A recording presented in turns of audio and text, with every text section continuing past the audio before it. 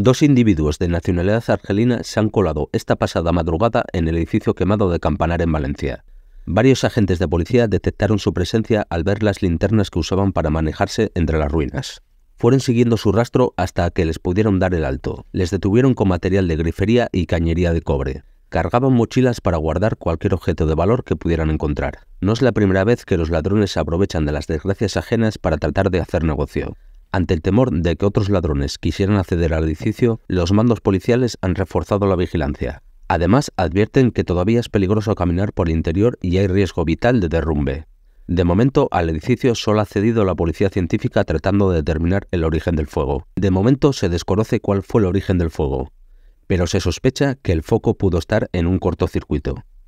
La jueza de instrucción mantiene el secreto de sumario mientras continúan las investigaciones sobre el origen y la razón de la virulencia de la propagación.